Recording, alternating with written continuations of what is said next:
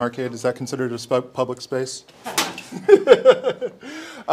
give me a cut of all the proceeds. no problem. So uh, I'm going to be talking about the world of virtual pinball um, as, uh, as kind of a, a cultural artifact and um, as an advocate. Uh, uh, and I'm also going to talk to you about being an advocate for um, alternative design experiences to create narratives, which, uh, which the design artifact, uh, which you see in front of you, uh, was the big influence, uh, not only in this talk, but in the work that I do. So I'm going to do a quick uh, introduction, and then we're going to talk about community. Um, uh, community is what drives this subculture, and um, without the community, I don't think we would have any access to visual pinball unless it was a uh, paid experience uh, from a large provider. So, um, who am I? Uh, well, I'm a creative technologist. Uh, that's kind of what I've settled on, I guess. Um, uh, I'm also a PhD candidate at Georgia Tech.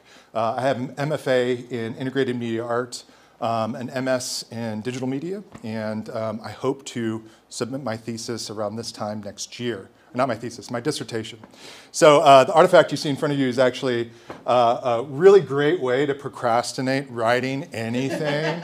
so, um, and it's been that for about four months. Uh, little subtext, uh, this was just finished Monday, Mike? No, you're still working. I'm still working on it, yes, yes, yes. That's, that's really good answer. That's t- a terribly too good answer. But, but um, I'll just show you some background in my work. Uh, I have two pieces of work up right now in Atlanta. Uh, one's called Prana. It's on the, uh, the side of the Hard Rock Reverb Hotel. The other one's at Georgia Tech um, on something that we call the Media Bridge. It's an inverted LED screen. I work with screens. Uh, I have worked with screens my whole life. Uh, I started off as um, a documentary filmmaker, an editor, a shooter, a producer, um, and I moved on to doing more art. Um, there's, there's Prana actually moving. It's an animated piece, um, and it's a single point perspective piece. This goes way back to uh, the second renaissance. It's used in digital billboards or 3D billboards as, uh, as uh, the community likes to call them. Um, I've also done work in robotics, in 360 video, um, but all the work that I've done over the past 15 years has influenced this, and it influences every piece of work after that. And I've never, I don't think I've done the same thing twice, um, which is kind of the thing. Um, so it's hard to figure out where I fit, but um, within the past five years, I think I've figured that out a little bit. Um, I've also done documentary work, and I was a stereoscopic cinematographer for a while during the 3D craze. Um, done a lot. Now this is just a, this is just a piece, but more importantly, um, all of this work, including visual pinball, it's a narration. It's a narration of a story.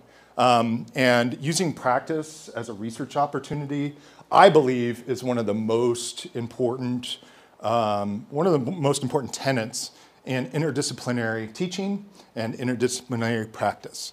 So this whole conversation that I want to have with you folks today is about, ah, there you are, Lee. I got her permission, by the way.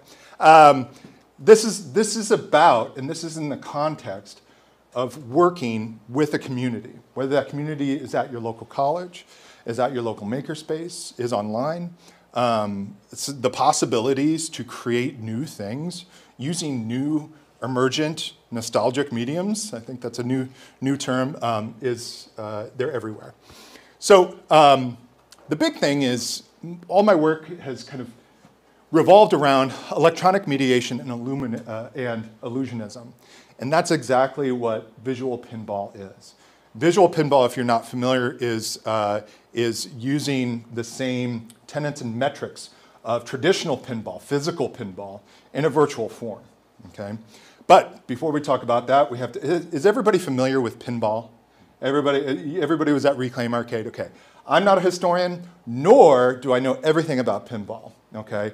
I've been in this community for about two years and have been a lurker, and only in the past four months have I actually applied what I've learned in these communities to this work. Um, but with that said, this all started with me buying uh, a mechanical 1969 Airport Gottlieb machine last year. Um, so let's talk about it in the context of uh, the Reclaim conference. What was?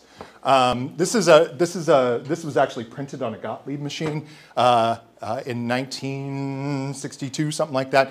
Amusement pinball, as American as baseball and hot dogs. Uh, one thing to really understand is that is that pinball is uniquely American. It was, you know, kind of invented and popularized in Ohio. It's not something that is or was worldwide until 70s and 80s. Um, and when we think about pinball, what do we think about? Uh, what do we think about when we think about pinball? Now, you guys all, did everybody play pinball yesterday at Reclaim Arcade? Okay, great. Just yell it out. What, what comes to mind? What do you think about? Colors. Colors. Noise. Noise. Lights. Lights. Noise. Uh, chaos. It's a, it's a chaotic game. It's a chaotic physical game that you can feel. Um, it also has a lot of uh, interventions on your, your own agency too, right? Um, so, you know, we have the machines, we have the games that are played on the machines, we have the sounds, uh, we have the locational context, right? If you look at Reclaim Arcade, their location, their context is as important as, as who fills it. From the moment you walk in the door, it is changing your contextual awareness into another time, into another space, and you can enjoy it differently. And that's what physical storytelling does. So um, uh, the game was kind of, it came from Bagatelle. This is actually a real comic uh, with Abraham Lincoln in it of him playing Bagatelle with his generals. Um, so uh, we know that it goes back to the mid to late 1800s, uh, which is always, always pretty cool. Um, but, but as, as we know, okay, this is a uniquely American art form. And it's, it's commercially produced, right? It's considered low art. It's gaming. It was in gambling halls, okay? There's a great documentary, not a documentary, there's a great uh, film out that's based on a true story called Pinball. Um, it's about the legalization of pinball um, uh, in New York City. Uh, because it, the big question that it tries to answer, uh, very uniquely, it's a great movie, is it skill or is it luck? Is it chance right? Or is it, or is it natural ability? But what makes this a very unique platform in which to develop for um, is that it was created by electrical and mechanical engineers and designers and artists, right? That's what we all are. That's what this conference ultimately is about. What can we create from these three spectrums um, of, of makers, right? So um, you know, it is an analog blend of skill. These are some really great machines. Uh, you know, the electromechanical systems, if you've ever seen inside of one of these, and I actually forgot to put a photo there, sorry about that. It is a mechanical computer. It is mechanical logic, right? And it always was. It was, it was built by the engineers that built the first card counting computers okay, combined with artists and storytellers. Um, and it's analog, uniquely analog. So 70s and 80s, we had some pop, uh, uh, uh reached kind of peak popularity.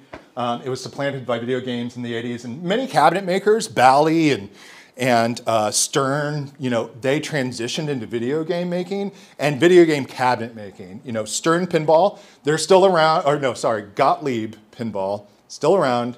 No, is Gottlieb still around? Gottlieb. Stern is. Stern's still around. They make physical pinball machines.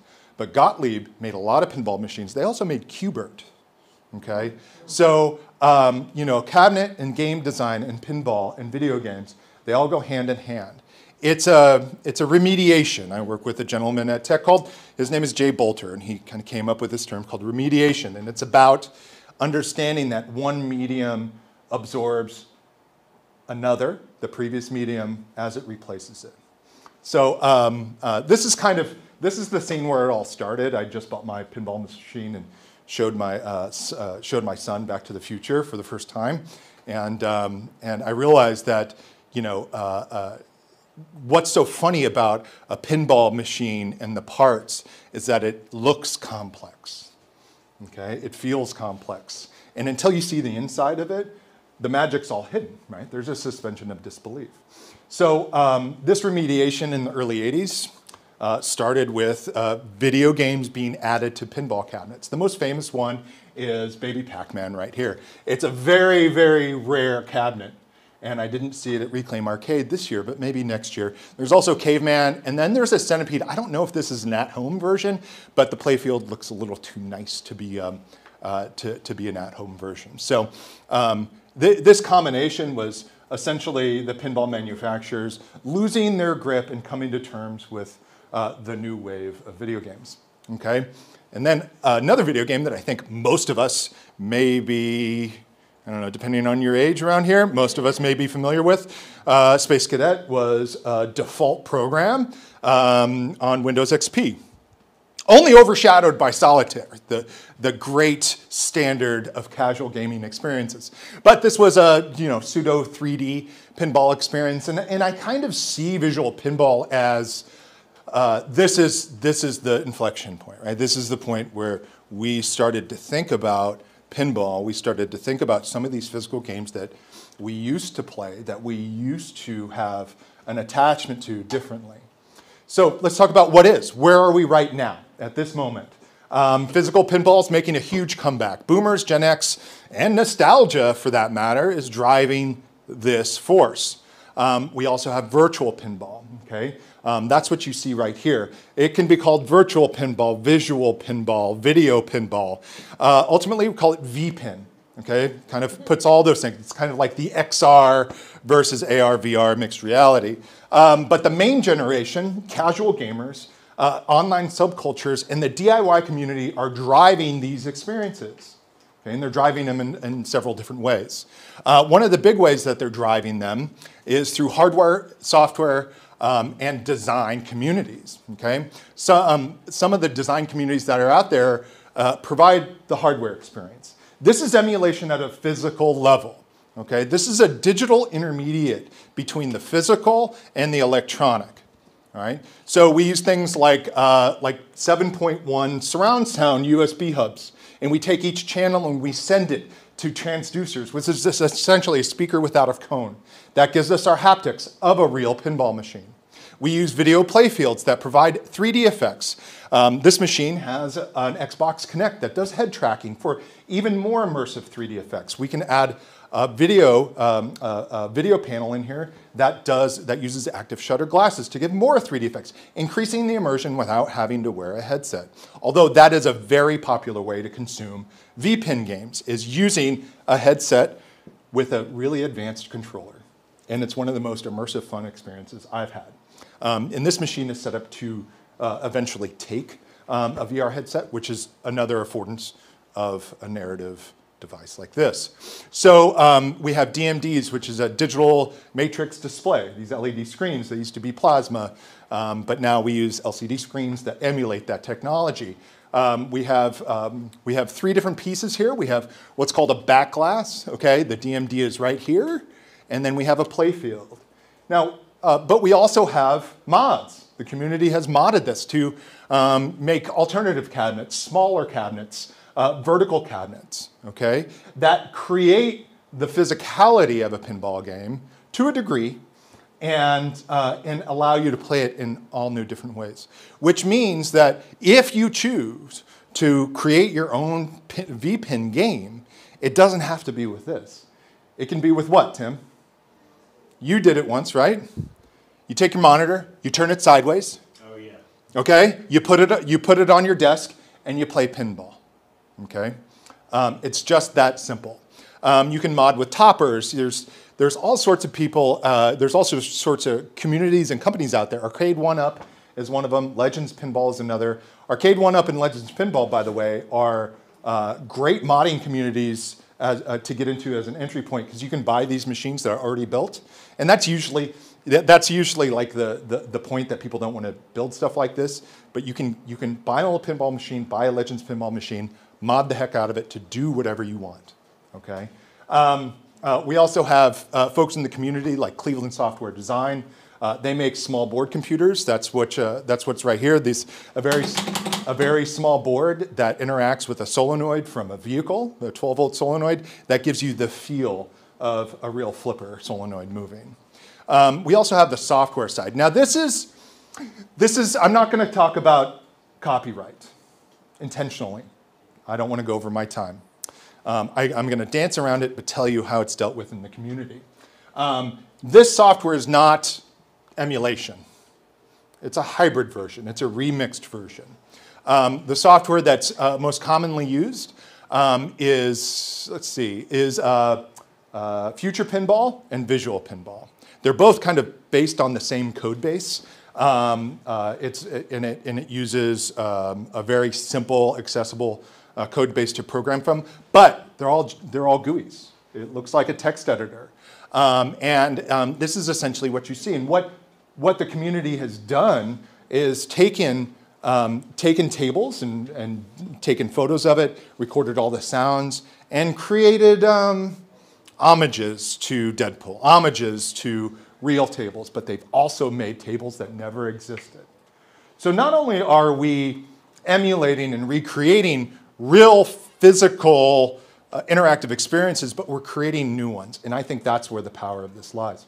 Um, so uh, the software that you use, it's a simulator and an editor. So you build and you play in it. Um, it, uh, it has a single point perspective that you can modify. Um, and there's some really cool things that I'm going to get to in a minute. Um, this is all very, very approachable, okay?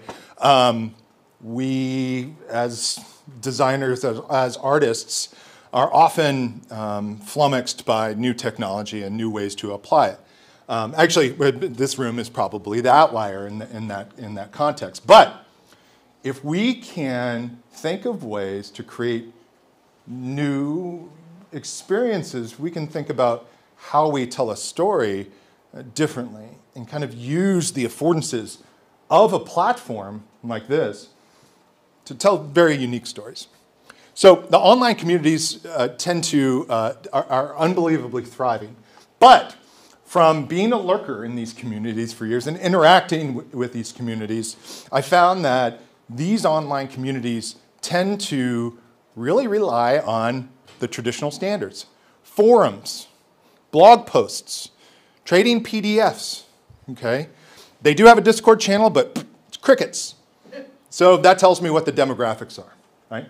Folks that are comfortable with this type of online interaction. Um, these online communities are also code bases, okay? This, these are all uh, open source communities. Um, this is actually uh, the uh, Visual Pinball, or VPin, VPinball, that is, and it's connected and sustained by VPin forums, the largest online repository of not only tables and code, but of knowledge, experience, um, this is the VPin uh, program. Uh, technically, this is actually uh, Star Wars. Okay, this is a Star Wars game. I'll probably uh, fire that up on this one. Uh, but this is not an exact recreation, but they do have a lot of heavy lifting from all the films, all that IP um, that's from it. And more importantly, um, you may have seen this. This is a ROM download. And one of the reasons why there's a photo of this ROM is because you're downloading, you're not downloading the artwork. You can't do that. You can do that with MAME, right? Get the sprites, get the artwork, get the rules of the game. These ROMs are the rules only. They're what light turns on when, they're what sound clicks when, and they're usually the basis for homebrew um, VPin games. You start with a good ROM, you build a table on top of it. You don't reinvent the wheel. Um, the communities really play to their strengths, and their, their strengths is in design. So, um, so as we move, kind of move forward and, and, and, and think about things uh, a little bit differently and make a turn, um, Future Pinball is another one. This one actually is the, the kind of highest grade, uses real 3D tools, ray tracing, ambient occlusion, all of these things that, that we, we, we use in programs like GIMP and uh, Blender and these th types of things. And a lot of these open source programs, design programs, integrate directly into uh, visual pinball and future pinball. Um, the hottest communities out there, uh, like I said, are just the traditional forums, but they're also Facebook. I mean, we're talking uh, 24,000 members in the Pinball Repair Help Group, which is more than happy to help you uh, uh, build your own cabinet that uses all real pinball parts to display video pinball. Um, we also have Um, this is just a good example. I, I actually took this about four hours ago, took this screenshot. Um, this is the type of collaboration that I'm talking about. These are the type of communities that I'm talking about. This game was, was just released, but it's based off of a ROM from Stern in 2012. And the ROM that you download isn't, you know, a torrent, isn't on Usenet, although those exist. It's downloaded directly from the Stern Pinball site. Okay, it's the logic. And Tim, is this true? When you get updates, are they over-the-air updates for modern pinball machines? Yes. Yeah, they're all Modern ones have started adding Wi-Fi. Wi-Fi, right? But but some of the non so modern ones, you you update the logic, and that logic is freely available. Um, I, whether or not it's encrypted, I'm not too sure. I'm sure the older stuff is not. So um, so when we when we think about all these things, the communities that support this new medium what are some of the things that we can do with it? Traditionally, pinball is, is associated with popular IP, right? Um, we're talking about, uh, you know, Foo Fighters, Ghostbusters, um, uh, ooh, Stranger Things, um, Rush, Aerosmith, okay? These all play to what you guys saw yesterday. It's fun, it's exciting, it's loud, it feels good. But what if we had one that wasn't based on Ghostbusters and it was based on an 80s film starring Le LeVar Burton called Roots? Anybody seen Roots before? Okay. Um, so, so what would it look like? How could we inter intervene? Can we create a table that explains climate crisis? Can we create a table that, um, that tells individual stories of the BIPOC community? Can we talk about economic justice through VPIN narratives? Um, can we um, talk about a specific subset of what racial justice would look like? Can we talk about women, women's rights? These are tables I've not found online, but I intend to work with others who can help me tell these stories. So, what do we have with this table? What are the affordances? How can we design? Well, I would say the most important um, design aspect is this position of power. Okay? It gives you a godlike agency over the game. You are not sitting and looking up at the television. Okay? You are standing over it. You are looking down. It's very similar to The Sims or SimCity, any of those games, right? This three-quarter perspective. You affect what happens on the table. You push it, you pull it, you tilt it.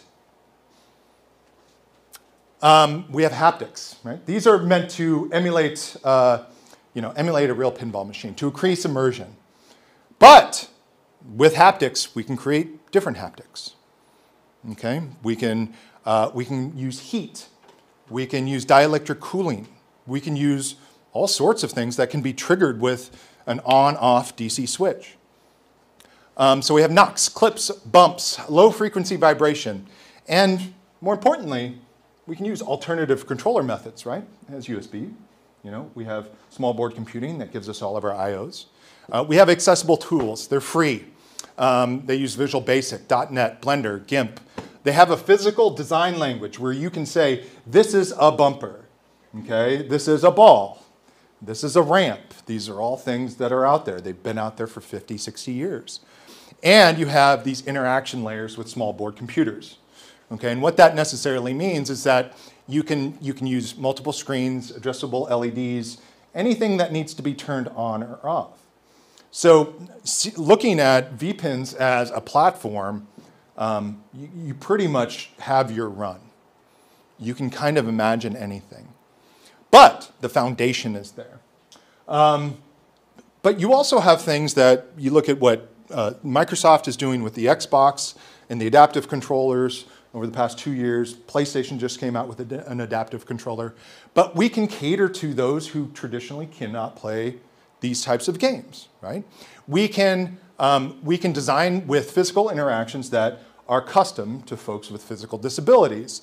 We can uh, custom design cabinets and tables to do research uh, for folks with uh, uh neurodivergent difficulties in their life.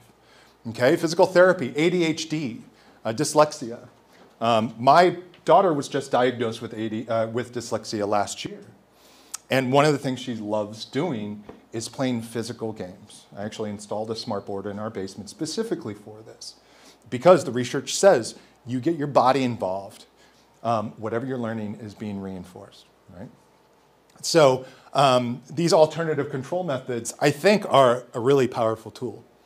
Um, um, so when we, when we really think about this, when we really uh, think about this talk and what I'm trying to do, I'm trying to be an advocate for using alternative mediums in which to tell narratives, in which to do research. You know, um, it doesn't have to be this. This is just a manifestation of an interest of mine, okay? But we can look at other communities. We can build those communities. We can help foster those communities. We can, we can look at this as a very novel way to get things like grant funding. We can look at this as a novel way to, to uh, pursue interdisciplinary uh, research with applied sciences, physics, biology, philosophy, computer science, um, you know, traditional uh, digital narrative, um, art and design. There are untapped opportunities in this. You don't have to build this. If you want to, you can. You can buy one. But all the tools are there, and they're, they're just ripe for the picking. So um, a, a, lot of these tables that the, that the community does, they're all remix tables. They're all reconfigured. And it's also a way to introduce practice into students' lives, departments, researchers, using practice to pursue research and to pursue, um, to pursue those contributions to the academy that I think um, that we have in our silos that we never usually get to apply and work with other folks. I'm, I'm a big proponent of uh, interdisciplinary work, uh, in, especially in the applied sciences, which is kind of like a, an overall uh, goal. So, um, so that's it. I hit my 30 minutes. I feel good about myself. Any questions? I'm also going to be talking uh, uh, at the end keynote, I think. So. Yes? Can you tell us just a little bit about narrative devices? Because I played a bunch of pinball machines yesterday, and some seem to have a strong narrative, and some were really just kind of banging the ball around. Well, when your design intent is entertainment, right? Um, narrative kind of falls to the side in a little bit, right? There's, I think there's even more of a suspension of disbelief in, in video games, and, and for all intents purposes, this is a video game. Um, you know, narratives, narratives help help influence um, new learning and understanding where the game influences that engagement, right? It increases the engagement time. It creates, it, it, I think something like this goes beyond novelty in that the, the way that you interact with it is a subversive way to tell original changing narratives, right? Narratives that matter, not narratives like the Foo Fighters as a Saturday morning cartoon. Like, I don't give a shit about that. What I do care about is telling stories and helping people understand through empathy, right? There was once, uh, I think, what, five years ago, six years ago, we started calling virtual reality the empathy machine, and uh, that didn't really pan out. Uh, but we're still searching for ways to uh, transport people into another time and another place to understand the experience of others. And, and like it might become, you know, you light this one up and you hear the, you know, 10 second description of how the Hejira album got written. And that's, and I, that feels tacked on even as I say it. I don't, I don't love the concept, but just in playing with what's an alternative historical narrative. Yeah. That actually does kind of match my experience of just going into a record store and find this is an interesting album. I wonder about it. And that's kind of all. Yeah. It's, it's, it's interesting, and it's interesting to think of how different that is from a write a biography of Joni Mitchell. Yeah, yeah, and you you get a different subset of people to, to, to engage in that, right? Ones that normally wouldn't read the books. Because Amanda was playing one last night that had a strong audio narrative, so I was actually oh. getting more hmm. story standing next to her playing her game than I was getting out of the game I was playing because of the audio. Hmm. Yeah, well, the social component's a big part of it too. You look at all the photos I use. There's people standing around these games, right? Watching other people play. It's a very traditional thing. There's, there's a very thick online community of pinballers streaming on Twitch, right? They have, a, they have a camera on the back box, a camera on the playfield, and a camera on them. people like to see that. And, and through that kind of ancillary observation, I think there's still kind of, uh, there's still places where we can inject narrative and learning and understanding.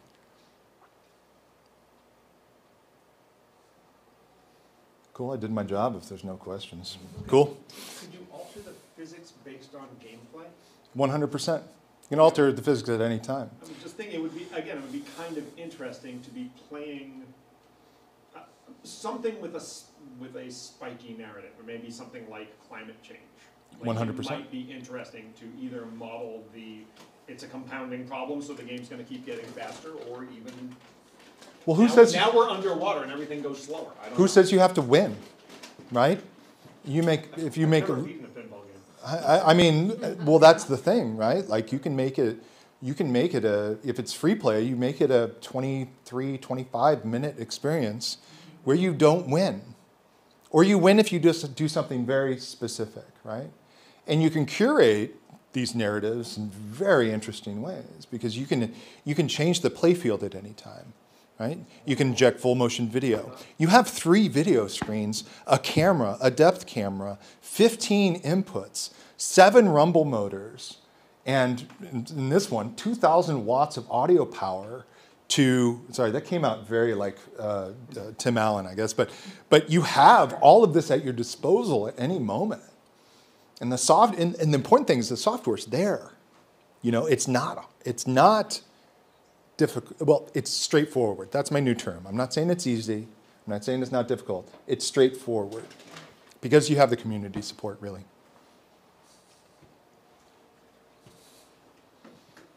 Okay, cool. I'm gonna have this downstairs playing for the rest of the time I'm here this uh, today, I guess. So, I guess this is less of what are you gonna do with it once you bring it home? So I have, there are two